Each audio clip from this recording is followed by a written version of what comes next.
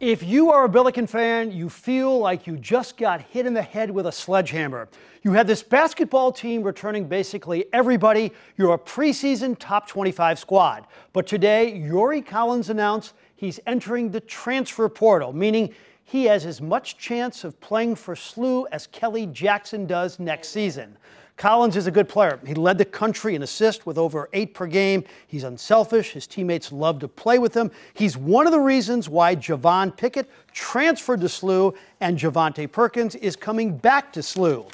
12 days ago, Collins entered the NBA evaluation process.